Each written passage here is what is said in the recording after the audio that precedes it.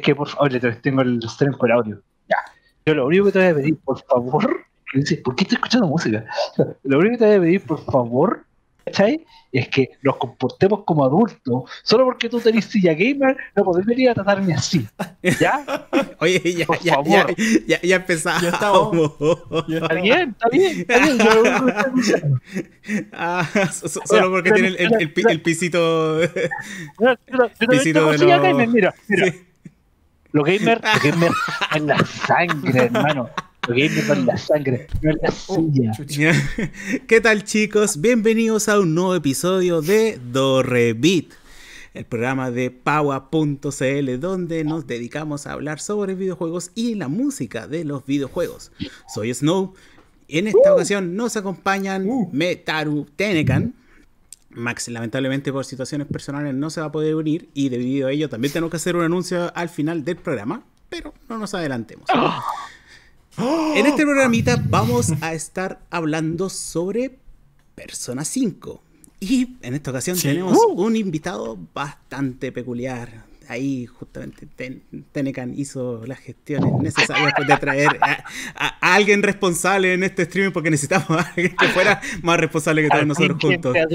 Sí, nos referimos a Simón. ¿Cómo estás, Simón? Ahí apareció. Ahora sí. Bienvenido. Ahora sí. Muy, muy, muy bienvenido, Simón. Hola, aquí estamos. Me invitaron aquí el señor Tenecan. Sí, eh, danos un poquito de, trasfondo, Simón, de, dónde de dónde vienes, de, qué comunidad. Aprovecha esta instancia para que puedan Sí, para, que me conozcan, porque la, hay gente de la comunidad ahora mismo conectada. Claro. eh, hay harta gente de la comunidad aquí conectada que ya me conoce, pero para los que no me conocen, eh, soy Simón 193.000. Eh, a veces hago de Community Manager de NLux, el canal de YouTube, con más de 800.000 suscriptores. Así que tenemos nuestra comunidad de Discord. Los recomiendo, vayan ahí, vayan a la comunidad de Discord. Está, está el Tenican ahí, así que Sí, ah, Nosotros no representamos ni siquiera el 1% de esa comunidad. Pero aún así, Por eso estamos estamos agradecidos que estés con nosotros. en lo más, lo más cercano a una celebridad que pudimos conseguir, o sea, que pudimos invitar. y, por ende, no, no, nos agradece tu presencia. Bueno, igual Simón el día de hoy nos estar acompañando para hablar eh, de Persona 5. Es probablemente la persona que sabe más de Persona 5 en este cuarto. Eh, y, em, pero antes, antes de llegar a ese punto, como todos los episodios, hablamos de semana, porque han pasado cosas esta semana en el mundo de los gamers. Han pasado bastantes cosas en realidad. Muchas sí, pasaron bastantes cosas durante esta semanita. Vamos con la sección de noticias. Y justamente para comenzar, eh, Metaru. Ahí nos tiene una noticia bastante mm. interesante, siguiendo con el hilo que ah, teníamos durante las semanitas atrás. Eh, ah, sí, eh, sí, tengo una. Oh, no, pasó algo bastante interesante. Eh, la semana pasada estuvimos hablando de Bloodborne, de la música de Bloodborne, y justo relacionado con eso, hoy, el, uno de los. Oh, oh, ¿Tú eres? Se va un poquito el Metaru. Se murió. Ah, se murió. Claro. tercio por, por haber trabajado en Bloodborne, haber trabajado. Metar, metar, no, en, soy, en soy que te está, está pegando en otros títulos. De... Estoy acá, estoy acá, es culpa de BTR. Es culpa de BTR. Sí, don, BTR, recuerda que si nos portamos mal nos bota la conexión. Sí. No, no, no, no sabes que todos los streams nosotros matamos, toda la, la gracia de Dorevit es ver cuántos sponsors podemos matar. Ya, posibles podemos matar por Tenemos baneado correos de Chile. sí, aduana, AliExpress. Es, es, bravísimo. todo lo que podemos funar. Nintendo. bravísimo, bravísimo quebró ya. Bueno, no, pero eh, Masami Yamamoto eh, abandona después de 25 años eh, Sony Japan Studio. Y es algo que él anunció hoy en su Twitter y ya en febrero había dicho Sony, parte dentro de esta reestructuración que iban a estar realizando, iban a eliminar este estudio que conoció por haber hecho Bloodborne, haber hecho también...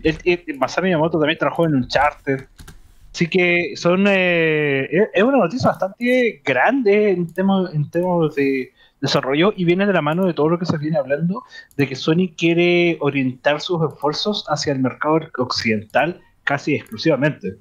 Lo mm, cual em, no sé qué tan efectivo sea, porque igual también hemos estado hablando de que hay una relativa muerte del mercado de las consolas en Japón respecto en comparación con, por ejemplo, el mercado móvil. Eh, eh, lo estábamos hablando con lo que pasó también con Konami, que también redujo su estudio. Ahora, eh, esta reestructuración, cual viene de la mano con un tema de que están escalando sus estudios de desarrollo, están haciendo más outsourcing su, de, sus proyectos. Ya lo vimos con el remake que tuvimos de Demon Souls. Esto fue realizado por Valpoint Studios, que es un estudio eh, occidental. Pero em, esto no quita que el señor eh, Yamamoto se esté retirando del desarrollo de videojuegos. Solamente él está abandonando Sony. Y lo que dice él también en Twitter, que va a ser extraño después de 25 años. Él trabajó 25 años exclusivamente en Sony eh, va a ser extraño ahora poder desarrollar para otras consolas. Lo cual me imagino igual es Sergio, antes de 25 años sacando juegos para Play, eso son cuánto, tres generaciones. Por lo menos. Tres generaciones, sí. Por lo menos. ¿Sí? Entonces, a ver qué pasa. Igual todas las noticias siempre terminan con a ver qué pasa. ¿Qué pasa con eso? Exactamente. Sí, igual es bastante triste de cómo ha ido desarmando el tema Sony sin, sin asco. Sí, lo hemos visto, lo hemos visto bastante de, primera mano en el podcast porque todas las semanas hemos hablado del tema.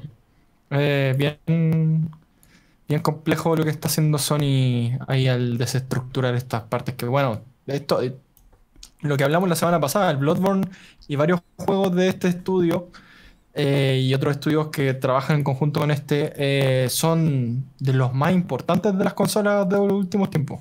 Así que es bien extraño. Sí, la jugada eh, resulta por lo menos bastante bizarra, por lo menos podríamos considerar se entiende de que mm. sea un tema de números y lamentablemente yo creo que es un tema netamente de que en Japón ya está perdiendo popularidad eh, eh, Sony. Eh, ahí la Nintendo Switch se está comiendo con, crece el, tema y los juegos en, móviles está haciendo de que las mismas consolas grandes estén perdiendo bastante presencia. por lo menos los últimos reportes han indicado de que por lo menos los últimos rankings de juegos que se han vendido son todos de Switch. Derechamente. No hay ninguno que sea de, PlayStation. Los Sí, por lo menos de. Es que, mucha, ¿Mm? Que eh, eh, eso viene de la mano del tema de que han habido problemas de logística y de distribución de las consolas nuevas. Pues. Hay muy poca gente que ha tenido la opción, el acceso a una Xbox, una Play 5 y una Xbox, eh, Xbox 2 One X, Xbox One X, una cosa así. Xbox 4. Xbox, Xbox 4, básicamente. Sí, el refri, ya la, la expreso. La, la del Nescafé. No, el. Sí, pues, entonces la Switch que ya tiene cuánto, casi tres años en el mercado. Cuatro. Eh, tiene asegurado casi cuatro años, imaginen, en el mercado. Se supone que ahora el rumor que viene es de que se supone que van a anunciar la, revisión de hardware, ¿cachai? La Switch Pro eh, en, algún punto de este o el próximo año. Se tienen un mercado, pero sobradísimo de, de cariño, ¿cachai? Aparte que, por ejemplo, Nintendo después de mucho tiempo finalmente se está posicionando, por ejemplo, en el tema de los esports con el Splatoon. Ahora con el anuncio de Splatoon 3 también. Entonces, mm. como todo un renacimiento de Nintendo versus el caimiento de lo que pasó con Sony, de los, de los otros publishers grandes que hay, como son, han sido Konami, que también Capcom recién viene como eh, instalándose de nuevo. Y, y, aparte de todo eso, todo el desarrollo indie en Japón, que ha explotado completamente en temas de calidad, ¿cachai? Que en el fondo se ha matado todo ese paradigma que siempre venimos hablando, ¿cachai? De que los desarrolladores viven exclusivamente como assets dentro de una corporación y si no, no pueden salir y su vida son arruinadas si te escapáis de todo eso, etcétera, Entonces, mm. eh, es, bastante extraña el, escenario que están ahora las consolas en Japón y bueno, el PC nunca ha sido como un elemento relevante en Japón tampoco. Pero últimamente sabido que están creciendo el mercado de PC en Japón, por lo menos. Bien de a poquito. Sí. Pero está creciendo porque tienen acceso más que acá. Sí, yo creo que igual el tema de la pandemia acrecentó mucho más estas diferencias que están teniendo en cuanto a las consolas, porque se dan cuenta de que es mejor tener un, un, aparato, un dispositivo, que aparte de lo que puedes usar para trabajar, lo puedes ocupar para jugar y no estar utilizando tanto espacio como justamente ocurre en Japón, de que el espacio es prioritario. No, sí, espérate que estamos todavía esperando, como dice en el chat, estamos esperando que salga PC 2 y todavía no puede salir PC 2 porque también hay una escasez de partes para mejorar los computadores. Sí, sí, la situación global está sumamente cuática en, aspectos gráficos debido al tema de que las tarjetas gráficas, aparte de que creció bastante la demanda por tema de la pandemia, muchas de las tarjetas gráficas y los chips gráficos están siendo ocupados para minado de criptomonedas. Entonces, sí, también está bastante... Debemos eh, queremos recordarle a la audiencia de Gorevich que este podcast no mira criptomonedas durante la transmisión de este episodio. Por supuesto, muchas gracias. No aporta a la crisis del, del, silicio. Sí. Sí. Claro. Oye, muchas gracias por los comentarios. Eh, justamente son intensas lo que se respecta en temas económicos y ahí indicando lo que se pueden ir armando con todo el dinero y los anuncios de, las consolas. Así que ahí. una Play chipeada. Sí. Nada, sobre el Polystation. Aparte, ahí justamente dice el crisis de silicio. Oye, sí, hay muchos temas de que están ocurriendo en estos últimos tiempos de que está afectando y por lo mismo la demanda haya también crecido y los precios hayan explotado exponencialmente. Así que, lamentablemente, para los videojugadores, eh, todavía queda por, por ver cómo se va regulando el mercado en cuanto a la mm. consola, porque también la consola de la última generación nadie las puede obtener. Sí, nuevamente el grupo más oprimido, el grupo de los gamers. Sí. sí. Como toda la cosa. Bueno, sí, gamers unidos. Sí. Eh, seguimos con las noticias porque durante este fin de semana se llevó a cabo el evento VGM Together, cuales fueron tres días de transmisión en donde participaron diversos artistas haciendo eh, presentaciones tanto en vivo como algunas grabadas. Y dentro de las presentaciones estuviste tú, Tenecan. Estuvo oh. increíble. Ahí. El artista eh, colocó todo el peso nocturno para que pudiéramos despertar y, después llegar a la otra presentación y me quedara dormido. Pero estuvo, bastante interesante. y aparte, dentro de, las otras personas que estuvieron, eh, fue Francisco Fococerda. Y hubo una participación especial de Pokerus, pero lo vamos a mencionar un poquito más adelante al respecto. Tenecan, ahí qué nos puedes decir con respecto a tu presentación. Sí, la verdad es que BGM Together llega un poco a suplir la falta de eventos relacionados con el mundo de los videojuegos y particularmente con la música de videojuegos. Nosotros tenemos acá en Latinoamérica, como bien saben muchas de las, personas que están en el, público y nosotros que tenemos la New Party y que la New Party igual ha suplido un poco el espacio.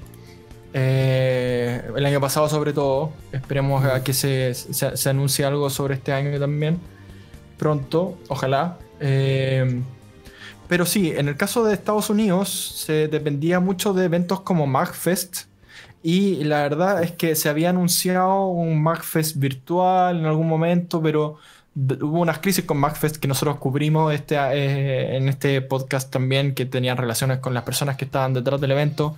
Así que se fueron cancelando de a poco cosas, se canceló el evento online, la verdad es que tuvieron que hacer un poco de reestructuración. Entonces, para suplir esa falta de, de MagFest y de otros eventos relacionados con la música de videojuegos, es que la gente, digamos, los mismos, los mismos intérpretes de allá eh, y parte de la comunidad, de los, de los líderes de la comunidad dijeron, ¿saben qué? Hagamos el evento nosotros. De nosotros para nosotros, de, de artistas de BGM para artistas de BGM. Y así fue como nació BGM Together. eh, que fue un evento online de tres días completísimo, completísimo. Lleno de conciertos, lleno de paneles. Eh, ahí también voy a comentar algo sobre, sobre un espacio virtual que hubo también en línea. Este, habían juegos, estuvo, hicieron un canal de Discord que estuvo muy activo durante el fin de semana.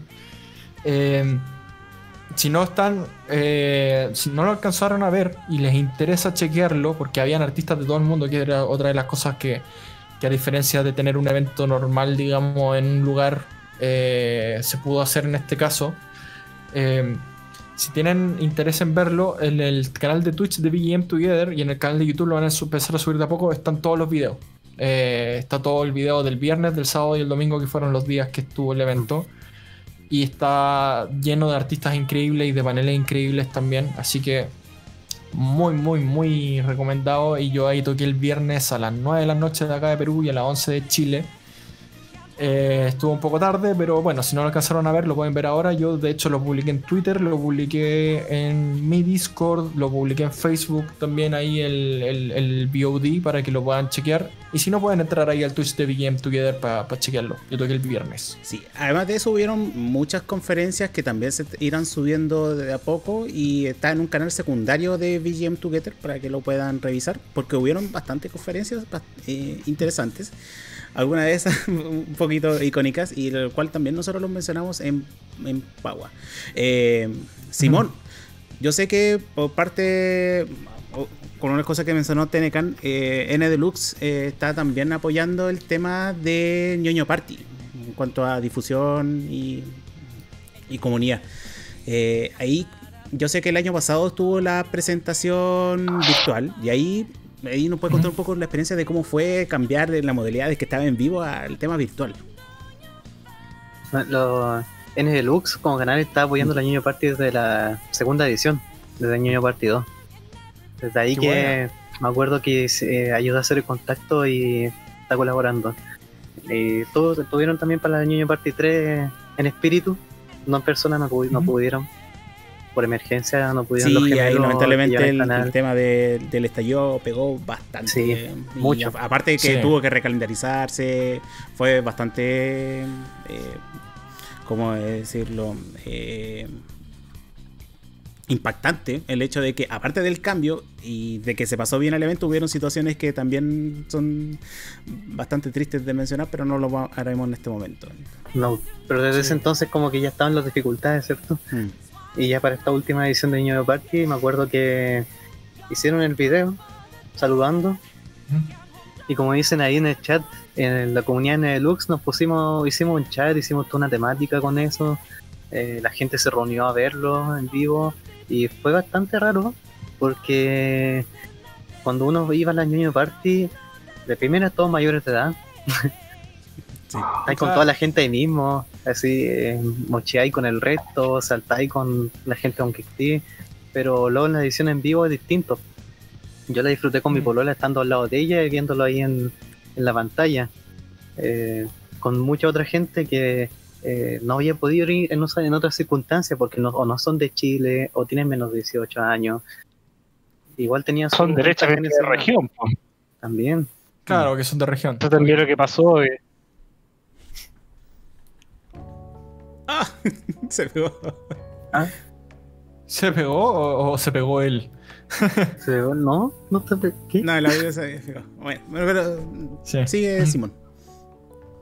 No, y que la verdad tuvo igual de esa ventaja que se pudo disfrutar con gente de otros países y gente que eh, también es de regiones y que normalmente no puede viajar a Santiago para esas cosas.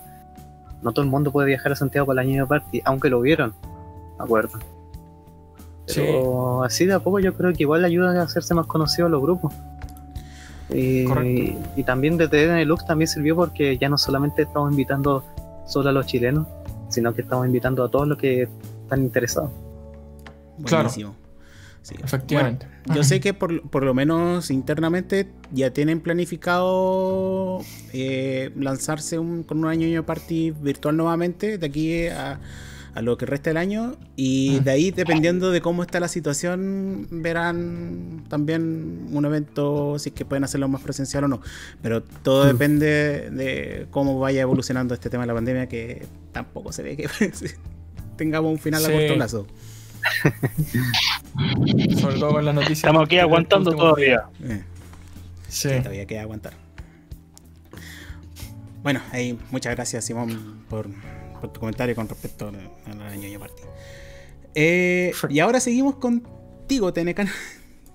Porque tú también. Sí, hablando, hablando de este. Hablando de este tema de las criptomonedas, ¿no? Hay un nuevo fenómeno bien extraño. Yo no lo llego a entender completamente. Así que voy a hacer así como un resumen muy por encima de lo que es. Pero se tratan de las NFT, que son una, es una especie, digamos, de. Entre comillas, como criptomoneda, pero que se asocia a tweets, o que se asocia a arte, o que se asocia, se asocia a distintos tipos de contenido. Eh, y que también se están subastando y que se están comprando. De hecho, el otro día salió una noticia de que alguien había comprado una de estas cuestiones NFT por más de 60 millones de dólares. Y la verdad es que es una cuestión que yo, yo, yo no lo puedo entender porque eh, básicamente lo, resumí en un tweet el otro día que es, como llevan años diciéndole a la gente que ahora porque su- los medios artísticos son digitales valen menos. Es decir, lo que valía un disco hace 10 años o hace 20 años no es lo mismo que vale ahora porque tú compras una versión digital de esto y lo mismo con una pieza de arte. En teoría, una pieza de arte digital vale menos que una pieza de arte, digamos, qué sé yo, en, un formato tradicional. Como que iba en esa dirección, digamos, la, la tendencia, ¿no? Pero de la nada aparece esto, que es como una especie de sello de digital, de una forma de apropiación de, esta, de esta- este contenido, que no es nada, en verdad, es como una especie de yo soy dueño de este tweet, algo así, y los están comprando por miles y miles y millones de dólares en algunos casos, y es una cosa muy bizarra. También tiene un impacto, tiene un impacto al medio ambiente, que es lo que veníamos hablando de que el Bitcoin tiene un impacto al medio ambiente porque se están usando los este, la, grandes, grandes cantidades de computadores, grandes cantidades de, de tarjetas gráficas que consumen mucha energía eh, para poder minarlas. Y la NFT también tienen un sello que es menor, pero igual es significativo. O sea, esa huella de carbono igual es, es jodida. Así que la recomendación ahí es informarse y tratar de no participar en esta cuestión porque la verdad es que a pesar de que la gente está ganando plata con esto es un poco extraño y un poco shady así que mi recomendación es no meterse mucho ahí Eh, pero es bueno saber que está para evitarlo digamos Sí, digamos que el, el tema de la criptomoneda y en, en este caso el, el uso de blockchain ha permitido expandirse en- con este tipo de fenómenos. Eh, Justamente eh, el NFT es un fenómeno muy reciente que está siendo discutido y que está siendo analizado inclusive por abogados. sí Porque Claro el marco legal to- todavía no tiene como, um, ¿cómo decirlo? No tiene un marco legal, derechamente. No con- conven- convengamos Tan que las leyes se demoran se demoran en alcanzar este Sí. tipo de cosas mucho tiempo Sí. Claro, entonces ahí justamente sé que no, no tienes nociones de, de criptomonedas, de, de blockchain, eh, y tampoco tienes recursos, no vale mucho la pena intentar meterte, a menos que tú seas el que generes el arte y lo quieras vender. Claro. Pero más allá de eso, recomendación básica es cualquier cosa que suene inmediato, no se metan a- de lleno Sí, a, a comprar o a vender, sino que a analizar. claro todo lo que brilla no es oro dicen ahí Sí, las lenguas así que eso. Eh, Bueno, en el caso de la gráfica es oro, sí, pero no lo malucen. Eso. Claro, po- podríamos dedicar un episodio de NFT a futuro, cuando ya tengamos un poco más de contexto de cómo Sí. se van manejando las cosas, porque, insisto, todavía es un tema muy reciente, Es un Y- tema muy en desarrollo. sí. Y que por lo menos es interesante de, de conocer, más que de entrar de Sí. lleno a, a participar en él. Mm. Entonces, Solamente tenerlo Claro. ahí como, como nociones, porque lo más posible es que tengamos más noticias de NFT en estos próximos meses, sobre todo con Sí. el tema de que las criptomonedas sigue siendo un tema al alza. Mm. Correcto. Bueno, eso con respecto a las noticias de esta semanita. Y vamos a las recomendaciones. Sí. Eh, Metaru. Vamos a la inversa, ¿no? O... No, comencemos. Ah. Contigo, Metaru. No, dale tú nomás, no, dale, por favor, insisto, insisto. Dale, dale, ya, ya, habla, Tomás, no preocupes. Ya, vamos a la inversa entonces. Dale, comencemos contigo, Tenecan, entonces. Bueno, volviendo al tema de BGM Together, mi recomendación eh, era que si usan VRChat, eh, hicieron una recreación muy fiel y muy cariñosa eh, eh, del, digamos, del espacio físico en el que se lleva a cabo MacFest, eh, que es un hotel que se llama Gaylord, que está en Washington, si no me equivoco, Washington DC, Estados Unidos.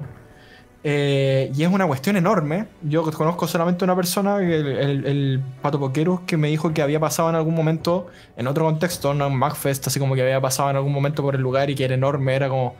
¿Cuál es la estación Mapocho? Dijo que era como 80 estaciones Mapocho metidos en un lugar. Así que es un espacio de convenciones. eh, es muy, muy bacán y la recreación está muy linda. Así que ahí, si usan VRChat, la verdad es que yo antes del evento no, no había bajado VRChat. Eh, me dijeron que no necesitaba casco para usarlo, simplemente te metís como, como si fuera cualquier juego. Eh, entré y la verdad es que lo pasé muy bacán recorriendo ahí el espacio de MacFest, el que crearon eh, para este evento. Están, hicieron un montón de lugares bien bonitos, está todos los artistas que participaron tienen como un pasillo en el que podéis chequear, tienen los códigos QR, los podéis escanear para ir a los Twitter eh, o a los Twitch, los- a los YouTube de los artistas, así que está muy, muy, muy bacán y hecho con mucho cariño, así que full recomendado si lo quieren vi- visitar. Buenísimo. Ahí justamente eh, está Sí. eh, compartiendo el enlace para que lo puedan revisar en el canal de Twitch.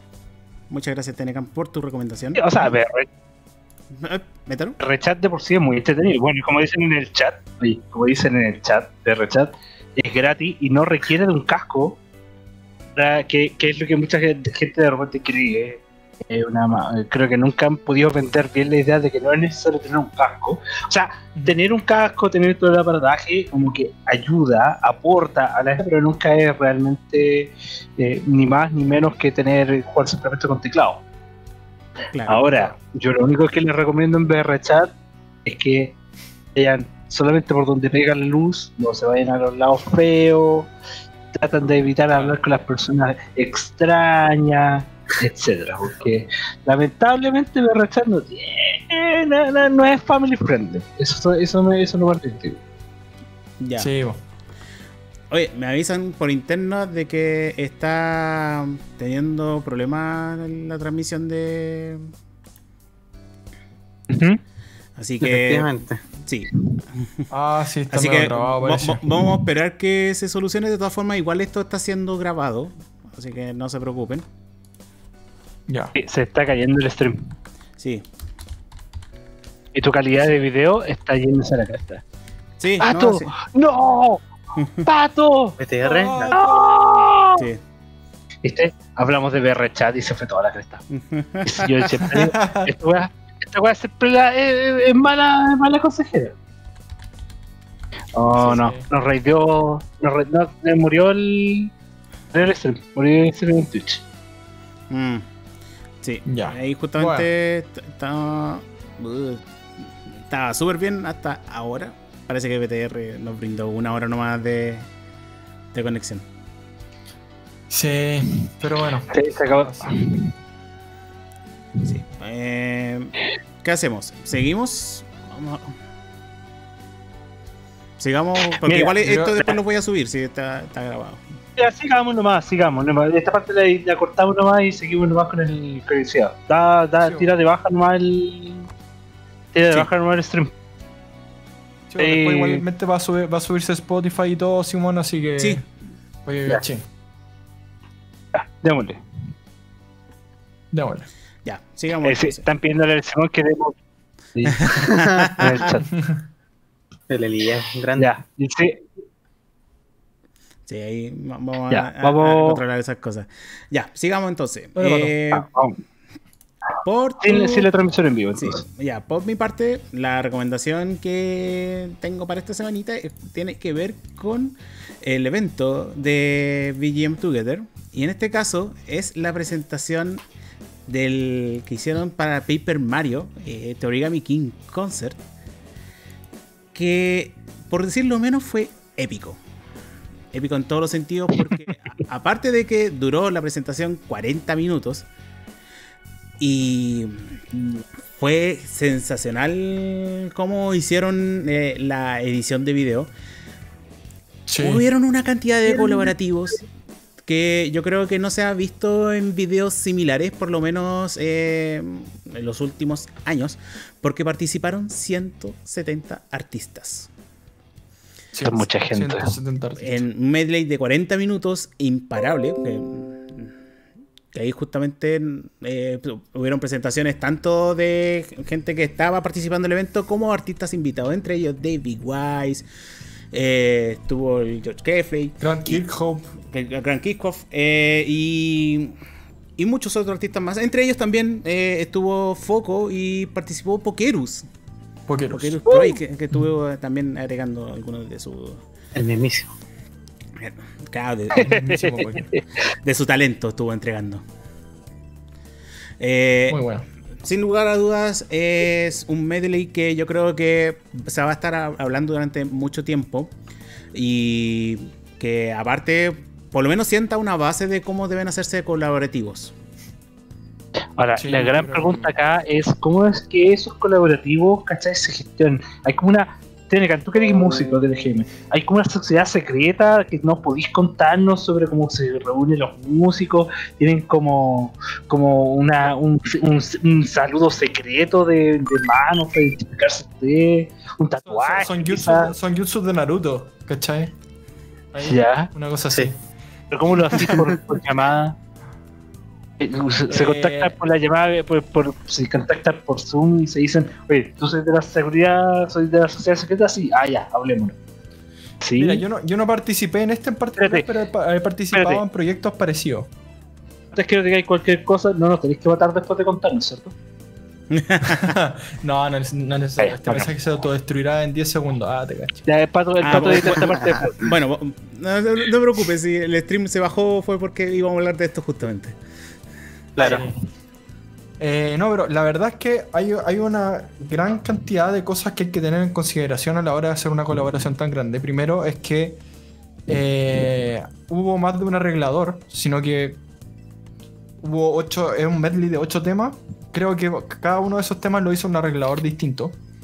Eh, y si bien se compartieron músicos, la idea era que cada arreglador, yo creo, contactara a sus propios músicos eh, dependiendo del arreglo que estaban haciendo. Entonces, por eso se llegó a tanta gente primero. Y a pesar de todo, hubo un director eh, que era Lauren Travia, que si no la conocen es la flautista de. Fue la flautista, no sé si todavía sigue siendo, porque no hablo con ella de forma más directa hace, hace un tiempo. Eh, pero ella era la flautista y cantante de eh, Video Games Live. Sí. Así que ella tiene un, digamos, bagaje importante dentro del mundo de la música de videojuegos. Eh, y es increíble como músico, como, como, como man- manager de proyectos, etc. Entonces, claro, ella hizo toda esta parte de gestión, de decir, ok, ustedes van a arreglar estos temas, lo vamos a hacer así. Y hubo tres editores de video que hicieron toda esta pega. Más eh, toda la gente que hizo los arreglos, yo imagino que o sea, sé que hubo una persona que hizo una mezcla de todo, pero yo creo que las personas que hicieron los arreglos agarraron las pistas eh, de todos los que los mandaron, las ordenaron dentro del proyecto y dijeron, ok, esto necesita edición, esto necesita afinarse, esto necesita tal y tal y tal y tal cosa. Simplemente mandaron, ok, secciones a la persona que hizo la mezcla general. Ok, aquí está la sección de bronce, aquí está la sección de percusión, aquí está la sección... Entonces, básicamente cada persona fue haciendo capas de trabajo hasta que se llegó a este resultado general que es básicamente un concierto eh, de 40 minutos de Paper Mario que fue una maravilla. Sí, Ah, sí. sí. De hecho, yo hace poco les había mostrado que hicieron un mashup parecido con el tema del Wi, del Wii Channel. ¿verdad? Sí, del Mid Channel. Sí. Del Mid Channel, eso. ¿Sí? Que también en realidad, yo creo, igual, se, se sabe, se sabe que hay un nivel de producción y de, de logística que también tiene que, ser, tiene que estar a la par con las performances que se hacen los artistas. Pero igual en, en tu en tu ¿cuánto se llama? en tu experiencia ¿tú crees que e- es, accesible para alguien que pucha diga, sé que pucha yo no tengo como tantos arreglos, como que me toca tocar, me, me gusta tocar música, pero no he sacado como ni un tema? ¿Hay alguien que pueda decir, pucha, yo quiero participar, me gustaría participar, puedo llegar y entrar a esta sociedad secreta y, y hacer mi ¿Cómo se entra la mafia? Sí, ¿cómo se Claro, entra a la ¿cómo se mafia? entra ¿Cómo, ¿Cómo funciona la mafia? Yo creo que básicamente hicieron un esfuerzo enorme los arregladores y los directores de este proyecto en tratar de integrar la mayor cantidad de gente que pudieran. Y simplemente fue un tema de, oye, yo conozco a esta persona, de que, oye, yo conozco a esta otra persona. Entonces, básicamente es un tema de comunidad, de estar ahí, de, participar, de estar subiendo videos, de estar com- eh, comentando los videos de otras personas. Portafolio De cachar que- contactos. Portafolio y contacto, básicamente. Este, ser buena persona en internet tiene sus frutos. Ca- básicamente. Sí. Básicamente. Siempre tener contacto. Sí, Sí. ley de vida, lamentablemente. Eh, Seguimos, ¿o no? Sí, seguimos. Ahora sí, Metaru, vamos con tu recomendación. Ya, la recomendación que tenemos el día, que tengo el día de hoy, la cual totalmente me acuerdo y no estoy haciendo tiempo para recordar cuál era.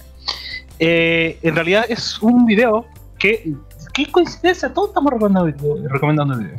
Es de un canal de YouTube que se dedica principalmente a tocar, o sea, se hizo famoso, se ha ido haciendo famoso por estar tocando piano en la vida pública en las calles de Inglaterra. Eh, inicialmente eh, era un tipo que tocaba música y se empezó a grabar y de repente dijo, ¿sabes qué? Voy a, voy a tocar, tocar temas de Jojo y la gente empezó a reconocerlo y se volvió viral y empezó a hacer como intervenciones artísticas. Cada vez se volvieron como cada vez más ambiciosas. Y eventualmente, eh, este loco dijo, bueno, estamos en un tiempo de pandemia, eh, está haciendo las cosas complicadas, y bueno, igual va a ser complicado mostrar el, el- el video ahora sin tener el, el feedback de- del stream. Pero Mm. eh, la gracia de este compadre es que dijo, loco, ¿sabes qué? Voy a grabar un, eh, un cover del tema del Mario Kart eh, Deluxe, el 8, ¿cachai? Del mall, el Coconut Mall. Pero lo voy a grabar tocando mi piano, ¿cachai? Tocando mi piano como si fuera un kart de Mario Kart mientras, to- ah, mientras me, muevo por un, eh, por un mall. Y el resultado realmente es muy estúpido. Pero al mismo tiempo, realmente es muy entretenido ver eh, la cantidad de, producción que tiene y que en realidad el loco es, es, es- muy talentoso. Porque el loco logra tocar el tema ma- manejándose entre la gente mientras lo van empujando arriba de lo que literalmente parece una web que se puede desarmar en cualquier momento. Sí. Así que literalmente, no, sí, literalmente el güey está sentado frente a su piano, montado en lo que es prácticamente una plataforma con ruedas, mientras lo llevan por todo un mal, eh, y la gente literalmente lo ve diciendo que güey está pasando este break, por eso estamos así, güey, no, esta güey no, me imagino que en el video salen algunos cabros chicos que de hecho reconocen como que, bueno, iban disfrazados de personajes de Mario y todo el asunto, pero al final eh, una, es una muy buena invitación para ver el canal que tiene este chico. Y definitivamente, ¿cachai? No, lo recomiendo. Ahora vamos a ver cómo lo contamos. El canal, en todo caso, por si lo quieren buscar, el canal de eh, Joe Jenkins.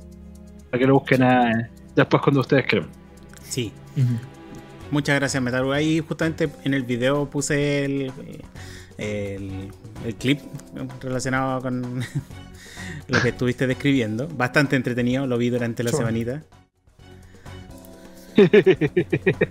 Así que Eh, me gusta mucho. Me gu- me gusta mucho. eh, tiene, un, tiene un video donde se pone a tocar temas de Jojo y la gente empieza a reconocerlo y es como, ¿estáis tocando el tema? Es una referencia a Jojo. sí. Y es como, ah, ya, ya. Ahí, ahí ya la weá se volvió muy meta ya. Este, Era demasiado. Así que eso, completamente recomendado el canal ahí también para que lo vean cuando están aburridos a las 3 de la mañana y no saben qué ver. Correcto. Muchas gracias, Metaru. Solo un video más. Sí. el Eh, último, total duran 40 minutos. sí. Claro. Y aprovechamos, eh, Simón, para saber si que tienes alguna recomendación que nos quieras entregar, aprovechando el espacio. Mm. Podría decir que tengo dos. Dale. Buena. Ah, oh. Bueno. Una, Buen invitado, buen invitado. Dos recomendaciones. dos recomendaciones. Uno, el canal de Nelux. Hay que decirlo. Vayan a ver los videos. Buenísimo. Eh, Van 858 mil suscriptores. Y al millón, Se se le- ¿Llegamos al vienen millón? cosas buenísimas. Se vienen cosas buenísimas, vaya. te lo juro a todos. Una casa. Voy a sacar el tema de. Era una, una Play 5, chipeada. Claro, claro, un canal de Nintendo así. Play 5 chipeada, tomen, sorteo. La Switch Pro, Cabrón. Premier. Oh, Cortesía de Premier de Switch Microsoft. Pro. sí, se viene, se viene PC2. Eso por un lado, vayan a verlo, muy bueno. En la comunidad Nevelux también, ahí están siempre los links abajo. Y quiero recomendar, ya que estamos en el tema, al canal de YouTube PSC. Esas tres letras, PSC. Un canal que sube música de personas, solamente personas, de todos los juegos de personas, todos los remixes que hay, oficiales, algunos no oficiales, son buenísimos. Si quieren escuchar los ST oficiales, si quieren escuchar remixes, eh, arreglos, todo ahí. Ahí están todos los, los temas del universo. Se van a entretener, tienen horas y horas de música ahí. Buenísimo. Suscrito al toque. Sí, ahí justamente pu- puse el, el canal y se ve bastante completo el, el compilado Sí. que tienen. ¿Qué tiene? Persona. Personas, solo personas. Persona. Solo Pero persona. en todos los estilos. Sí, Green Metal Este- está ahí. sí. Va, va a llegar un loco a preguntarte, oye, pero tenéis de Shin Megami Tensei?" No, persona. Solo persona. no, no, no, no. no. No, no. De hecho, tiene un canal secundario de Shin Megami Tensei. Oye, pero este es como el lo- persona. No, Shin Megami Tensei no es lo mismo que persona. ya. Muchas gracias por la recomendación. Sí, Eh, muchas gracias por la recomendación. Y ahora sí, lamentablemente eh, se ha grabado es- esta parte porque tenemos problemas de dificultades y todavía no vuelve. Esperamos que, que vuelva entre medio de la conversa. Pero de por sí estaremos hablando sobre Persona 5 particularmente. Sí. Uh. Y A mí me gustaría obviamente también hacer vamos a estar una- hablando sobre la música. La música. Me gustaría hacer una intro porque Sí, la dale. razón por la que yo contacté a Simón, eh, especialmente para este capítulo, es porque nosotros hicimos un cover de Persona 3 hace un tiempo, el año pasado. Ah. Junto, junto a Iris Pamela Calvo. Ahí un, un shout out a Ah. Que es una cantante increíble, amiga de nosotros, Sí. así que eh, tremendo, full recomendado su canal, su Spotify y todo.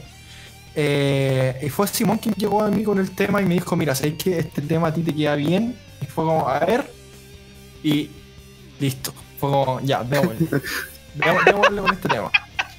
Me gustó inmediatamente. Y eh, a propósito de eso fue que empecé a conocer la saga un poco porque yo cachaba un poco el Persona 5, eh, había escuchado algunos temas, pero cuando me llegó el Simón con este tema fue como, a ver, necesito saber más.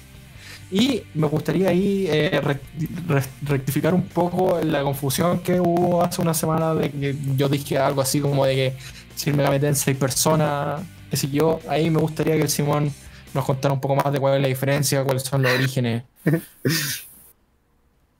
Eh, yo conocí persona, ya que partimos con ese tema, yo conocí persona gracias a Jastic, cuando sacaron un cover 2019, no, 2018, algo por ahí.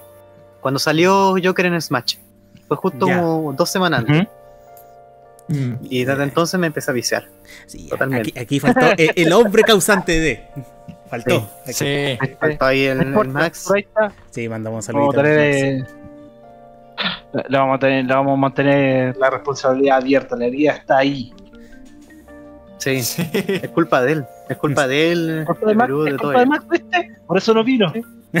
Por eso no vino, escapando de la responsabilidad. Dijo, Dios mío, ¿cómo son están personas de invitados? Simón. No, ahí tapándose. Ah, Cobarde. Cobarde. Cobarde. Ah, Pero, mientras nos contaba Simón, Lo que les contaba es que ahí conocí y me empecé a viciar. Me leí todas las páginas de Wikipedia, de fandom, Megaten que hay, todo, todo, todo.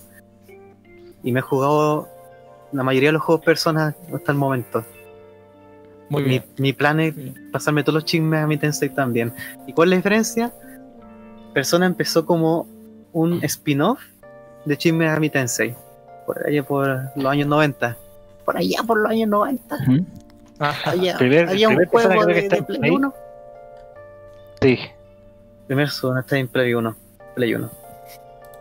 Que en realidad Sí. se dice que la saga en persona no empieza con un juego de persona. Empieza con el Sí, Shin ¿no? Megami Tensei If, Ah. Que es como un juego de Shin Megami Tensei que qué pasa si no hubiera pasado los hechos del persona del Shin Megami Tensei 1 y 2. Y cae una Ah, bomba nuclear y cosas así. ¿Qué pasa si no hubiera pasado? Ah, viola. Shin Megami Tensei If. ¿Y por qué se sabe eso? Porque una personaje que aparece en ese juego aparece en el Persona 1, en los Persona 2 y, perso- y de ahí en adelante se siguen nombrando personajes. Ah, ya. Eh. Entonces, entonces hay, hay una, Pero, una o sea- especie de intercalado entre medio de las dos sagas. Lo hubo. Ya no.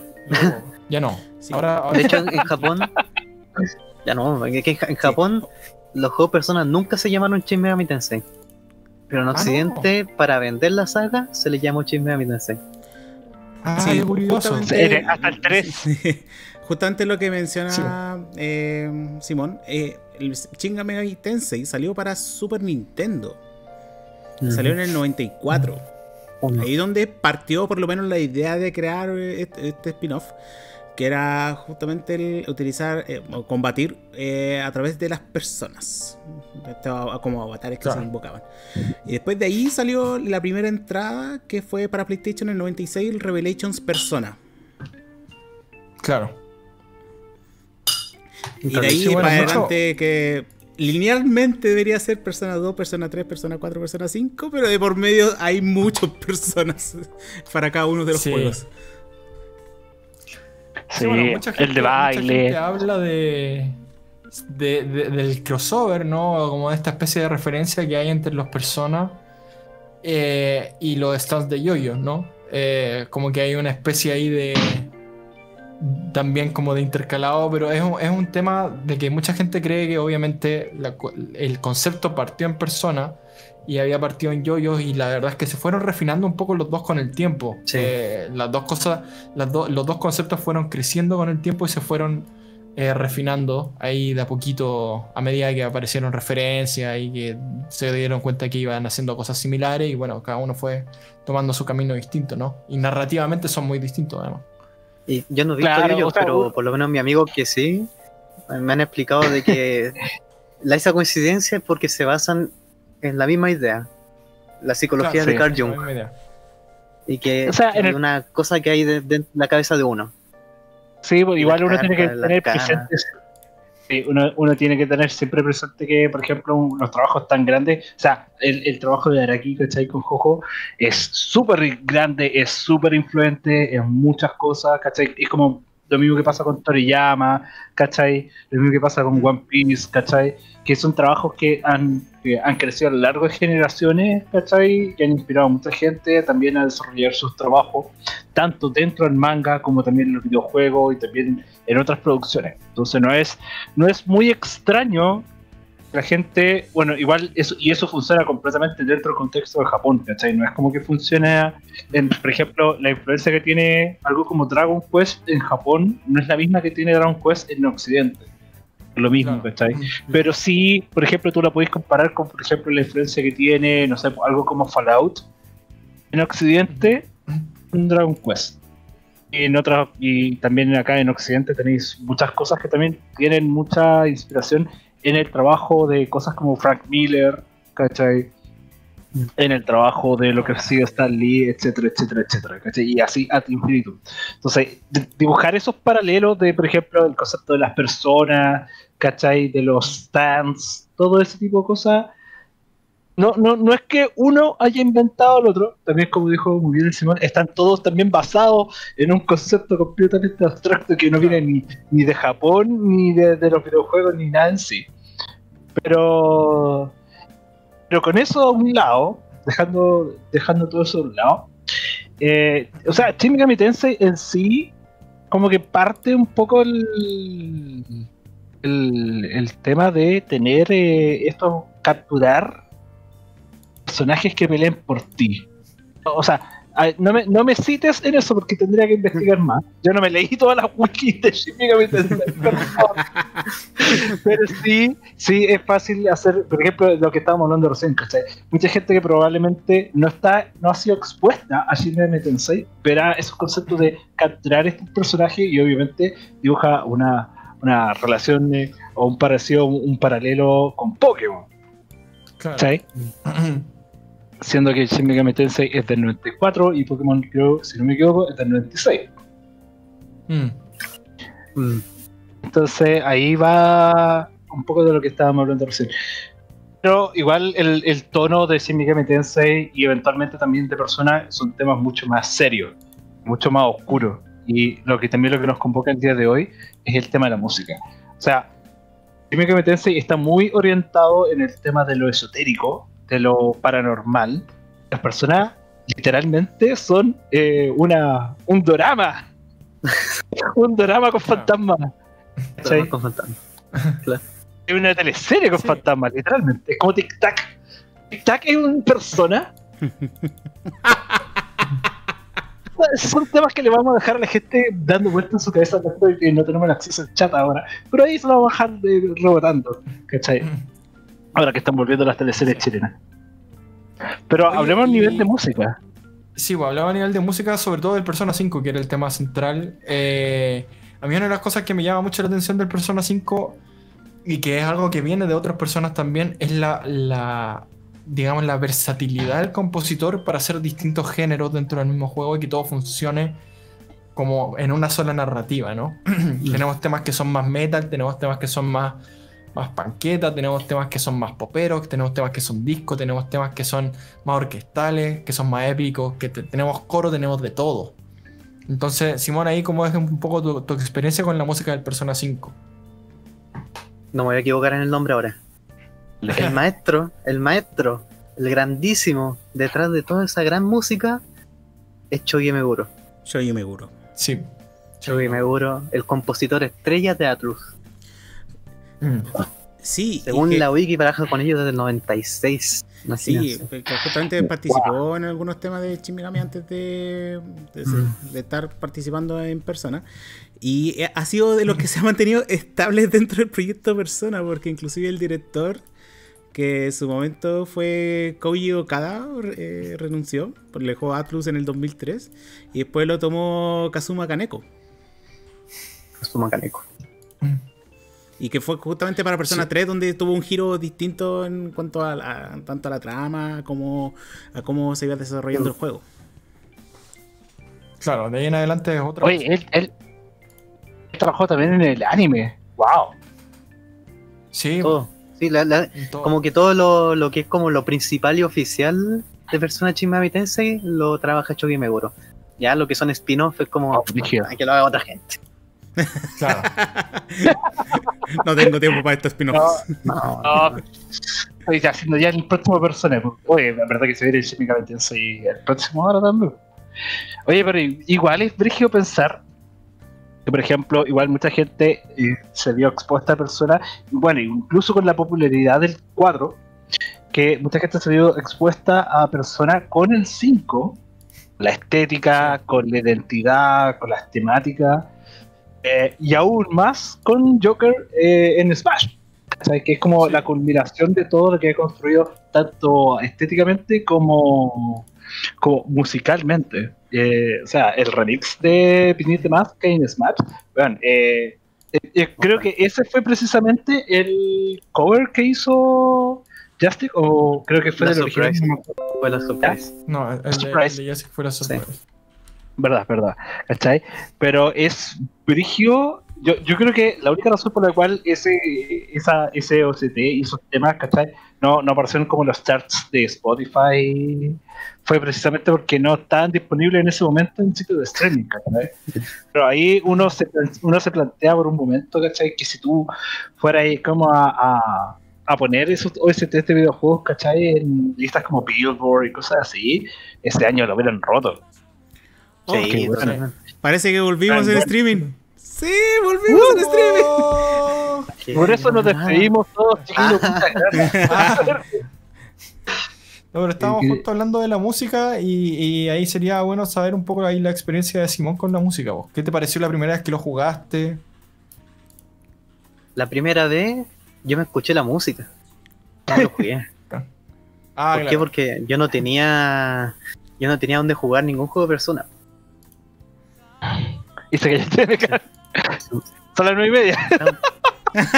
Eh, eh, esa, esa- esa es cábala, esa es cábala, Simón, no te preocupes. las nueve y media. se Me- dijeron. Sí, Ya es, el signo de alerta. Estaba advertido. Sí. Es que a media hora- Ah, y media se cae. Ya. Eh, perdí el hilo. Eh, sí, yo primero me escuché la música. Y ¿Ya? cuando me escuché la música, dije, ya, esto me lo tengo que jugar de alguna forma en algún momento de mi vida. Agarré mi notebook todo chaya, agarré un emulador y lo hice de la manera más legal posible. Sin decirle a nadie. Sin decirle de hoy. Sí. Ah. Oye, sí.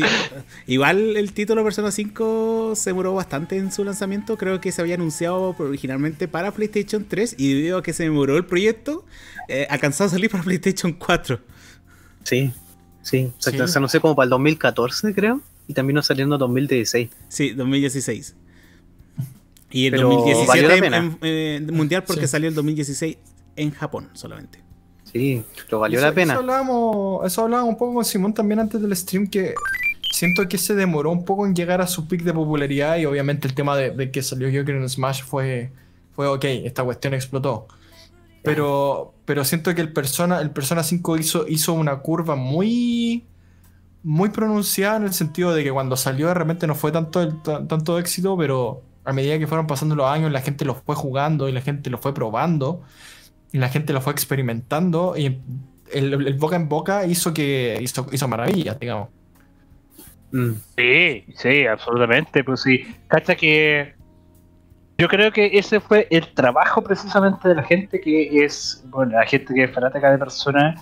Eh, ah, hizo un trabajo literalmente muy parecido a los fanáticos de Jojo. Que, oye, ¿jugaste Persona 5? Juégate Sí. Persona 5, hermano. Mira, juega. Mira, te lo muestro. No, broma. Mira, te muestro un tema, te muestro un tema. Y fuera, fuera de broma, es muy probable que mucha gente, al igual que Simón, ¿cachai? haya escuchado toda la banda sonora de Persona sin saber que eran Persona. Sí, Sí. ¿cachai? Gracias también al rango que, que se maneja la banda sonora, porque muchos de los temas como que son se prestan mucho para el chill hop, ¿cachai? Para los temas, ¿cachai? Más, más piolas de personas, pasan súper piola, por ejemplo, tú los ponías en el stream de Lo-Fi y, y no te voy a dar cuenta, ¿cachai? Más allá de que reconozcáis quizá la- las melodías clásicas. Pero pero con todo eso dicho, con toda esa, esa, esa identidad bacán que tiene el Persona 5, eh, yo creo que igual hay que reconocer que eh, Need Mask tiene un mérito muy grande tras de la intérprete. De, la- de los temas vocales, ¿cachai? Los temas vocales que tiene el Persona 5 también son muy icónicos. Sí. ¿Cachai? Yo, yo, yo personalmente, yo quedé para la cagada cuando yo caché que la intérprete era japonesa y que probablemente no habla, habla una cagada de inglés, pero la pronunciación y, la, y el perfor la performance. Yo me acuerdo que vi cuando fui al stream de los 60, yo mira, para que veáis cómo son las cosas, yo me enteré quién era la, la intérprete de los temas vocales de Persona 5 en el stream de los 60 años de Sega, cuando ella se presentó. ah, sí. ¿cachai? y ir a pensar, que todo el stream en japonés hasta que empieza a sonar los temas, eh, empieza a cantar y cantar en inglés perfecto y yo dije, ¿qué? ¿Está ahí? Y ahí, literalmente, porque claro, weón, o sea, yo estoy en una, una situación parecida como con, con Simón 2019, que yo todavía no he jugado Persona 5, eh, tampoco ningún persona hasta el momento he estado súper eh, expuesto a la música de persona, a, a todo el- toda la cultura que se generó en torno a persona, todo, todo desde los memes hasta los cosplays y a todo, ¿cachai? Eh, y pues, obviamente nunca me dediqué a como a buscar, ¿cachai? Igual ahí fue una relación tremendamente brígida, weón, de, eh, de, ver eh, la calidad, ¿cachai? De esa interpretación, pues, ¿cachai? Entonces, Es que la, música de personas de verdad evoca algo. Yo me acuerdo mi último cumpleaños que celebré así en normalidad. Eh, Mm. Yo puse la música persona así de fondo. Como muy. ya, ya puso, ya puso persona. Es que la verdad es que sí, una música que da para todo. Da para todo porque como además tiene distintos estilos. eh, hay un tema que, por ejemplo, que está sonando ahora, eh, Hochi Tobokurato, eh, que en inglés se llama eh, With the Stars and Us. Sí. Ese Ya. tema tiene una, una peculiaridad, peculiaridad que tienen todos los endings de los juegos de Persona. Que todo, todos esos temas están en japonés. Todos los temas de Persona están en inglés. Menos los temas finales. Esos siempre están en, en japonés. Es un tema Ay, que siempre han hecho, es como una tradición que tienen desde el Mm. Persona 1. Perfecto. Interesante. remake. Sí. Pero la verdad es, es- es una maravilla porque uno está todo el rato escuchando a la cantante cantar en inglés, en inglés, en inglés. Y luego al final uno la, la escucha en japonés. Aunque uno no entienda nada, el tema evoca algo igual. Uno ya, uno ya conoce cómo canta ella, ya conoce cómo... to- uno ya pasó por todo, por todo lo, lo que te quiso mostrar el juego. Porque Oye, además... Te, te quería preguntar por algo bien técnico, musical, eh, que tiene que ver con los leitmotiv que hay dentro del juego, porque cuando tú me mandaste, el, el cover que hicimos es de... Ah, ¿Cómo que se llama? Battle for Everyone Souls. Battle for Everyone Souls, sí. Eh, tiene, tiene una melodía que parte desde Persona 1, si no me equivoco. Sí, Que es la, la melodía de la... De la, De la no Velvet Room. el personaje. Sí, el tema de la Velvet Room. Sí. Entonces hay, hay una identidad musical eh, melódica también que, que va permeando los juegos, digamos, y se mantiene a lo largo del tiempo. Yo no sé si, por ejemplo, ese tema que está en el 1 y que aparece en el 3, después aparece en el 4, aparece en el 5, no sé, ahí no, no, no conozco bien el detalle. Ese tema en específico, el de la Velvet Room, que muchas muchos deben haber escuchado alguna vez, si no es el original, algunos de los miles de arreglos y remix que hay, eh, que es donde sale está cantando. Eh, ese mismo. Eh, ese tema es como es como la marca de, de persona. Es como cuando uno, no sé, escucha algo de Avengers y suena el tiro de, el leitmotiv de, de Avengers. No me sale ahora. Sí, Eh, es como es como en la marca y que a veces se puede repetir en otros temas que ni siquiera tienen que ver con la Velvet Room, pero te quieren decir algo. Como dicen los mismos personajes de la Velvet Room, todo lo que pasa en esta habitación eh, tiene una explicación. Y, Claro. y- y pasa algo ahí de que si tú, si tú vayas escuchando el OST oficial de los juegos, ¿Mm? me pasó lo, lo, lo intenté por primera vez con el Persona 5, pero pasa con todos. Si tú lo escuchas por primera vez, o sea, no por primera vez, si tú lo escuchas, si tú escuchas el OST oficial después de jugarte el juego, sin mirar imagen, nada, solo la música, vais a ser capaz de reconocer de dónde es esa canción y seguir en tu mente el juego entero a través de las canciones, porque está ordenado de tal forma de que te va a recordar ah, esta es la primera canción que sonó en la introducción del juego. Ah, esta sonó en el primer palacio. Ah, esta sonó en el quinto palacio. Esta sonó al final del juego. Eso me encanta. Porque te, te va Claro, llevando como de la manito, así. Mm. Sí, hay un, hay un tema que es ese tema que es, es un eh, elemento musical, pero es bien narrativo también, porque te va, te va trayendo a momentos del juego que tienen que ver con el momento que estés jugando ahora también. Entonces, por ejemplo, puede ser que el personaje con el que estoy hablando ahora tenga algo que ver con un personaje que conociste antes y ese personaje tiene una música y metís de alguna forma esta música en el tema de este otro personaje que estáis conociendo ahora. Entonces, claro, es un elemento narrativo súper importante y es muy choro también que se mantenga a través de los juegos, porque claro, hay, hay elementos que se mantienen narrativos del primer juego que permanecen hasta el 5, por ejemplo, con los mismos personas. Eh, entonces, claro, eh, la idea de que haya una identidad musical que se mantiene es súper fuerte narrativamente, porque claro, a toda la gente le gusta escuchar así como, oh, este tema reversionado, ¿cachai? O esto tiene que ver con esto que pasó en el primero, esto tiene que ver con esto que pasó en el segundo. Eh, es, una herramienta bien, bien, bien poderosa. Y el tema de los covers es eso mismo. El, que quizás fuera, fuera de contexto el cover puede funcionar súper bien. Pero ya dentro del contexto del juego, uno termina como rompiendo como la, armonía que causa como el, el OST entero. Porque si este tema, el, Choki Meguro eligió que fuera rock, es porque tenía que ser rock. No podía ser otra cosa. Porque tiene que ver con la identidad del juego mismo. Eh, y la historia del juego. Eh, cada persona tiene un tema, un, concepto con el que juega. Claro. O sea, igual, por ejemplo, yo estaba leyendo un poquito más sobre el, sobre el ST y claro, él menciona que eh, para el Persona 5, él lo que buscaba era también reflejar que la música fuera más realista eso también coincidiera también con el setting también, mucho más realista comparado con otras personas, eh, o sea, con la persona anterior, persona 4, ¿cachai? Y eso lo, y toda la OCT en sí, ¿cachai? Se desarrolló como un solo trabajo continuo que iba a ser básicamente, yo me imagino, también para ir conectando cada uno de los elementos que se van narrando en la historia. Yo creo que una de las cosas que también ayuda mucho, una vez que uno ya empieza a jugar el juego, eh, el hecho de que los personajes todos logran generar una respuesta emocional súper fuerte. Partiendo por la primera historia, es una historia que incluso a mucha gente le pareció muy choqueante porque es directamente una historia de abuso. ¿Cachai? Y por ende, todo el contexto va más allá de, por ejemplo, simplemente, no sé, porque soy el Joker, bueno, y soy bacán, y una escena de acción, y un JRPG.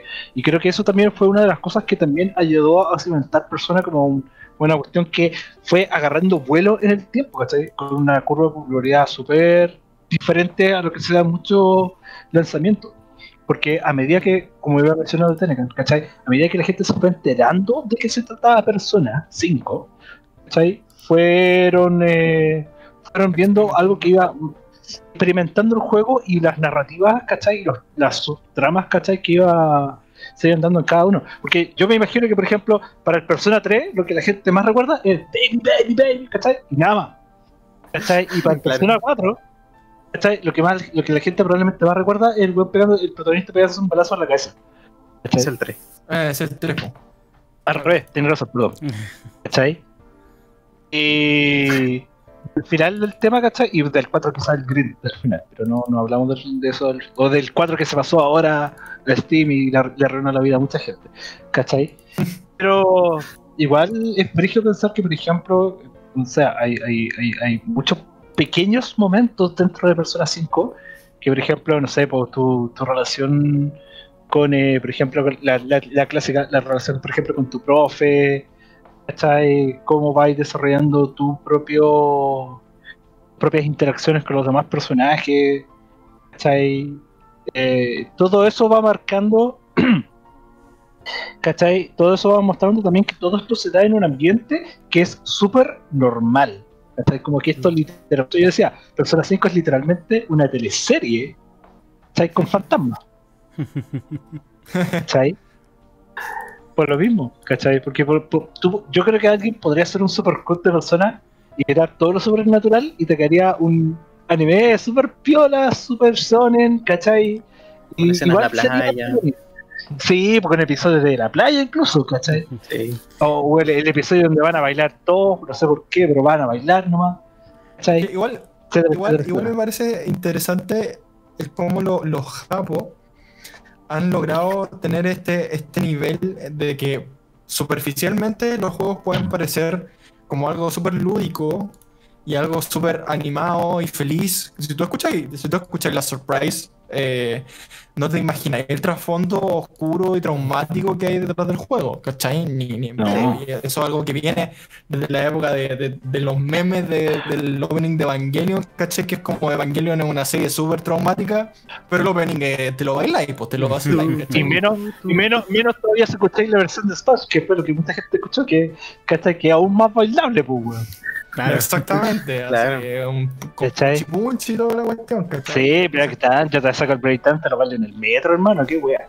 Sí, po. entonces eso es algo que los japos han ido desarrollando y yo creo que, que, que el Persona debe ser como el ejemplo más reciente en el que se ha culminado esa, Mm. esa fusión de elementos, ¿cachai? Así como de, de algo que se ve por encima muy feliz y que tiene una estética bien. Los, lo- el- el- los Persona tienen unos colores súper saturados. ¿Cachai? Que eso normalmente te da a entender, no sé, no sé si el Metaru me puede corregir, pero te da a entender que, que es súper como eh, animado, por decirlo de alguna forma. O Mm. como súper, digamos, O sea, feliz o súper... Ah, di- dime, dime. Es que mira, corrígeme, corrígeme, Acá hay un comentario, hay- acá hay un comentario en el chat que le acerta que dice Shiro Minamoto es que el, el tema principal dentro de Persona 5, el leitmotiv de Persona 5, es la rebeldía.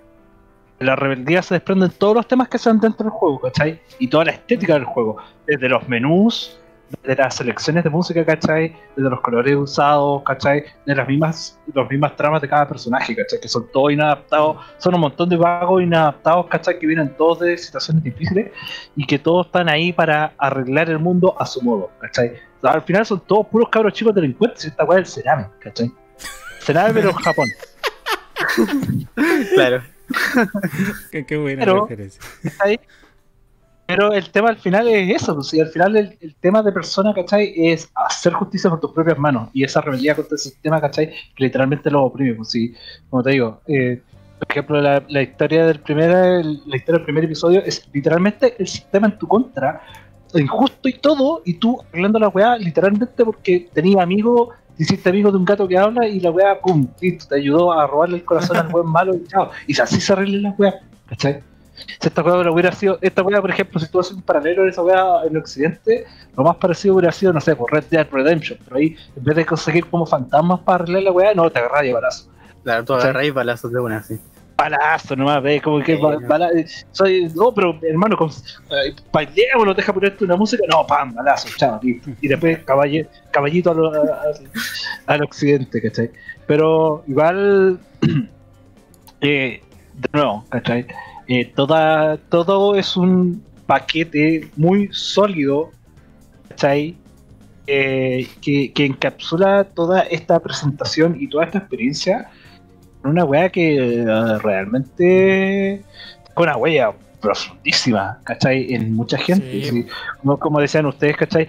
¿Cuántos covers hay de Last Surprise en este momento dando vuelta No, o. Billy the Mask? ¿Cachai? Piensa que justo aprovechando que estaba haciendo la pega, ahora, después que ya empezó, ¿cachai? Me puse a leer un poco también de cómo lo que yo les mencionaba hace un rato, ¿cachai? Cuando esta weá lanzó, cuando se lanzó la banda sonora, ¿cachai?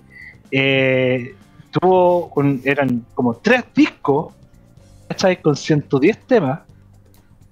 Y en el lanzamiento llegó el punto número 5 del Oregon, que si no me equivoco, Oregon debe ser como el, el Billboard en Japón. Mm. Sí. ¿cachai? Y, y tuvo que, y, y debido a la demanda de los fans, hubo un lanzamiento occidental, ¿cachai? ¿cachai? Y que salió hasta en vinilo, ¿cachai? Sí, inclusive se Entonces- están, me están viendo el tema de hacer giras relacionados con presentaciones de personas. Y porque en lo- Japón se hacen. Sí, en Japón se hace muy a menudo y por lo menos con el éxito que se generó en Persona 5 ya están evaluando, obviamente por la pandemia se postergaron varias cosas, pero se estaba evaluando hacer giras en Norteamérica y Europa. Si no me equivoco, desde el 2009, más o menos, que se hace un concierto solamente de música de personas cada dos años. Wow. Empezó con la, la, la cantante del Persona 3, con el rapero del Persona 3. Se sumó la, luego Oye, la Persona dato. 4, y luego se sumó la del Persona 5. Hace un maravilloso. piensa, piensa que, ¿te acuerdas de lo que hablaba, cachai? Que ahora sí me hizo su nombre, ¿cachai? Que era Lin, Lin y Inazuma. Ni ni Eh, ¿cachai? Ella dice, ella fue fue, era la primera vez que ella producía un tema. Ah, eh, gracias, Pato. Eh, era la primera vez que ella producía música para videojuegos. ¿Cachai? Y que la parte más difícil de haberlo hecho no era cantar en inglés, sino la parte donde tenía que rapear. ¿Cachai? Cuando él en, el- en la intro tiene que decir get up. Ya. Sí, yo me, yo me imagino sufriendo porque no podía pronunciarlo bien en inglés. Hasta que literalmente se lo. Hasta que literalmente se lo aprendió por. eh, le pasa lo mismo que le pasa a Takeru Mitsuyoshi. Que literalmente se lo aprende, se lo aprende fonéticamente. Sí. Claro. Lo, lo bueno es que ahí Atlus tiene a su, a su ayudante que le confían todas las cosas que tienen. Cuando tienen esos ese problema, llaman siempre a Lotus Juice, que es el, que, el ¿Mm? rapero que hizo en Persona 3. ¿Por qué? Porque él vivió en Estados Unidos no sé cuántos años, todos, toda su vida, Mm. Eh, claro. pero es japonés. Así que. Tengo un amigo, tengo un amigo, tengo un amigo que sabe inglés, tranquilo, yo. Ahí, Sí, yo, yo no. sé, yo no sé. ¿Lo llaman a él? Hay videos del Persona 5 Royal en que está Lotus Juice y Link conversando. Están los dos ahí como, ya, pero hazlo así mejor, ah, mira, ahí queda mejor. Ahí nace Oye, la sala de y- y ahí producción. Quería, quería preguntar dos cosas más eh, relacionadas con el persona. Uno, que es que hay una, una cosa que me llama mucho la atención del juego es la relación con el, con el tarot, que es algo que se mantiene, desde- no, no estoy 100% seguro, pero creo que se mantiene desde el 1 al 5, Mm. ¿cierto? Y por otro lado, quería preguntar sobre todo el tema de esto, de que hay un Persona 5, que hay un Persona 5 Royal, que hay un Persona 5 Strikers ahora, si no me equivoco también. Sí, que ¿no? es el Musou. ¿Musou? El Musou, sí, Sí, el Musou de persona. los Warriors. Claro, el Warriors Así de que ahí si, nos, si nos podéis dar más detalles, Simón, de por qué tiene esa relación con el tarot, sería bacán. Como de antes decía el Metaru, los juegos de Persona tienen esta magia como que tienen como un mundo como fantástico, pero también tienen este mundo como real. Sobre todo el Persona 5, que es el que más te distingue. Y la música hace muy buen trabajo en eso, en distinguirte entre el mundo real y el mundo fantástico. Pero Mm. algo que, la, que los une es justamente el tema de las arcanas, las cartas del tarot. Que más que nada porque los creadores agarraron el concepto, lo desarrollaron súper bien. Originariamente era solo porque, no sé, el, el psicólogo Carl Jung mencionaba lo, a las arcanas como estereotipo que creó la humanidad durante mucho tiempo para, para más que nada como ver las actitudes que tenemos todas las personas. Y que nos acercamos a, va- a varias a varios como arquetipos de personalidad al mismo tiempo. Ellos agarraron este Claro. concepto y lo pusieron en el juego y lo relacionaron un demonio con un con una persona, con un, con un personaje de idea. Un demonio en persona con un personaje. Eso con el tiempo lo fueron como adaptando y mejorando. Hasta el Persona 3 que salió ese tema social links. Que cada arcana como que ya es una actitud súper marcada del personaje. La que tiene la carta de lovers, los amantes, siempre suele ser una mujer eh, muy animosa, eh, que entrega mucho cariño, al- normalmente su- o sufre de abuso, o sufre de que, de que no le entregan cariño de vuelta, cosas por el estilo. Eh, y así, y así con todos los personajes, sean principales o secundarios. Y, en el- y eso sigue hasta el Persona 5, que es el más madurado de todo. Está ya el sistema de los confident, que se llama. eh, Los confidentes. Que ahí ya las arcanas pasan a tener el mismo significado, pero más adaptado al estilo Persona 5. En el, en el resto de personas como que era como ya súper libre, en el Persona 5 como que el protagonista se tiene que ocultar de todo. Ahí entra el tema de las, Mm. por las máscaras, por, las máscaras, por ejemplo, tienen los personajes, se tienen que ocultar porque son ladrones fantasmas. Los ladrones fantasmas, sí, pues, los ladrones fantasmas de corazones, en español. Ya. Yo no me jugué el juego en español, horrible. lo hagan. No lo hagan, jueguenlo en inglés, de verdad. Se pierde mucho recuerden. chiste. Entonces de ahí el de agarraron el tema de la arcana y lo mejoraron, lo pulieron hasta el máximo. Excelente. Sí, Oye, igual, y ahí la- igual hay un tema de localización brígido ahí, po. Sí, Igual siempre las traducciones al español las pestan de juegos japoneses, porque lo- es que, es normalmente que lo hicieron en es- España. Normalmente lo que hacen es pasar de japonés a inglés y de inglés a español y es como que Se pierde. Sí. imposible. Se- se es que la O gringa sea, es igual entendamos. Sí, po, sí, sí. O sea, de hecho, mira, entendamos algo. O sea, pongamos el contexto. Año 2016, todavía estamos en una época donde la traducción latina, o sea, la, versión latina de las cosas existe.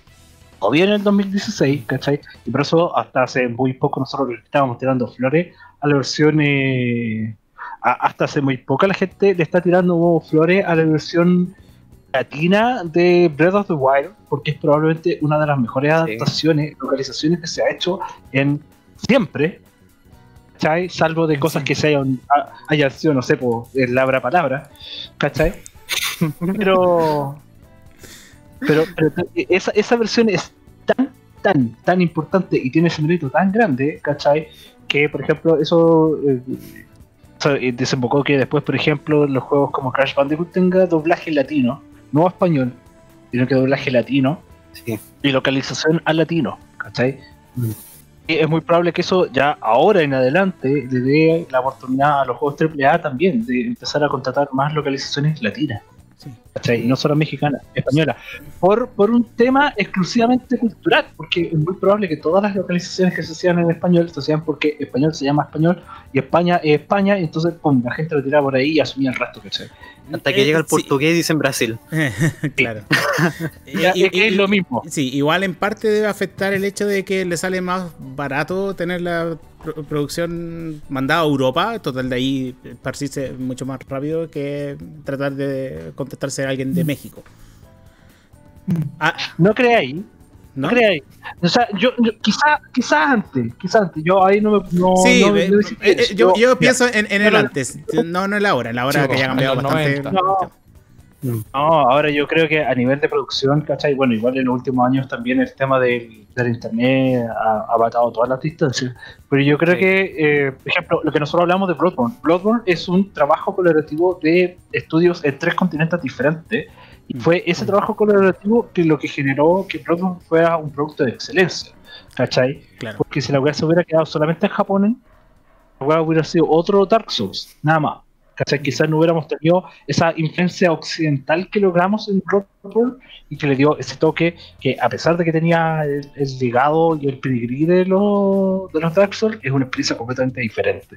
Ahora, tú, posibilidades de que nosotros, por ejemplo, tengamos un, eh, un persona o el próximo Shin Megami Tensei, ¿cachai? Localizado a español latino, no es, no es- ahora, hoy por hoy, yo creo que no es tan difícil, siendo de que el fenómeno de persona ha cimentado el hecho de que la, la popularidad también de Shin Megami Tensei, ¿cachai? Eh, sea grande. ¿cachai? La gente está interesada en Shin Megami Tensei. Yo, yo estoy seguro que mucha gente estuvo muy contenta cuando en ese, en ese direct de Nintendo se anunció, Mm. ¿cachai? El Shin Megami Tensei que se viene ahora. Mm. Que es el 5, si no me equivoco. Sí, bueno, el 5 o el 6. eh, eh, sí, eso pasa al final por decisión de Atlus. ¿no? Ahí, Sí. Sí. no- no- Pero han estado experimentando. Sí. Han estado experimentando desde Sí. cuando salieron los Personas 5 y 3 Dancing, el 2018, que Ujú. veo, eh, fueron los primeros juegos en salir con traducción al español. Localización todavía no sale, pero fueron los primeros que intentaron, así como, veamos cómo le va. ¿Le fue bien? Claro. Luego sacaron Persona 5 Royal en español. ¿Le fue bien? Ahora sacaron Scramble en español. ¿Le fue bien? Ahora que va a salir el remaster del Shin Megami Tensei 3, también va a salir en español. Pero no se sabe aún si va a salir en latino. Mm. Eso está todavía en un veremos porque es lo que piden los fans latinos en todo caso. Aquí Sí. en América todo- todos los fans están pidiendo español latino. Eh, Sí, ya. igual Atlus ahí es bastante abierto porque tal como estaban mencionando en los comentarios, eh, el hecho de que ellos mm, le tenían mucho miedo a la presencia en PC eh, hizo que por mucho tiempo no, no sacaran juegos para, para justamente eh, para computador. Y no fue hasta la presión de los fanáticos que quisieron experimentar lanzando Sí. algunos títulos.